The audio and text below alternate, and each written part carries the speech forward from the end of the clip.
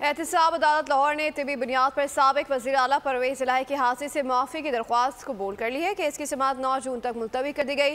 नैब reference नैब reference में परवेज इलाही और मोनी सिलाही समेत चौदह मुलजमान नामजद हैं। एहतसाब अदालत ने मोनी सिलाही को इस केस में इश्तहारी भी करार दे रखा है। परवेज इलाही और मोहम्मद खान भट्टी की जानब से इस केस में नैब इंक्वायरी रिपोर्ट की नकूल फराहम करने के लिए दरख्वास्त पेदार है। मुलजमान पर कौमी खजाने को एक अरब तेईस करोड़ रुपये नुकसान पहुँचाने का इल्ज़ाम है।